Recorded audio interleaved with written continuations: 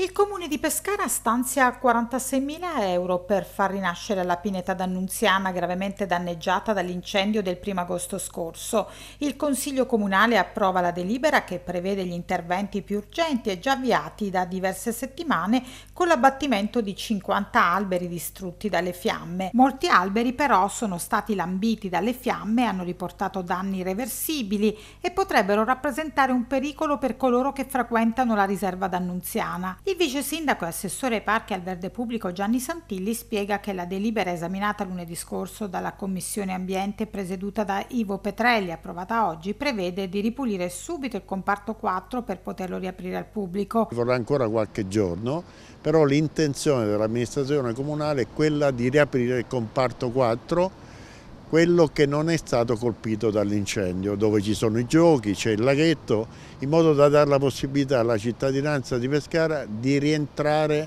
alla pineta.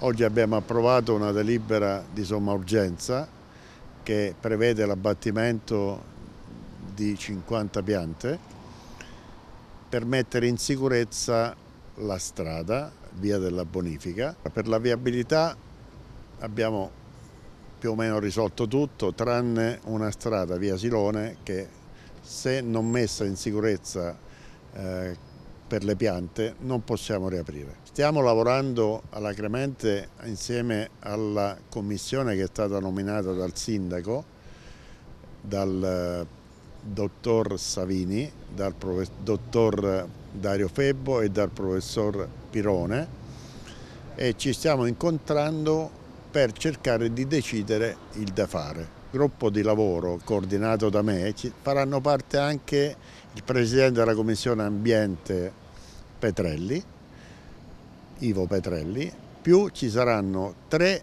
associazioni ambientaliste che sono il WWF, Lega Ambiente e Ambiente Vita, oltre alla partecipazione di due giovani ragazzi che ci porteranno qualche idea nuova.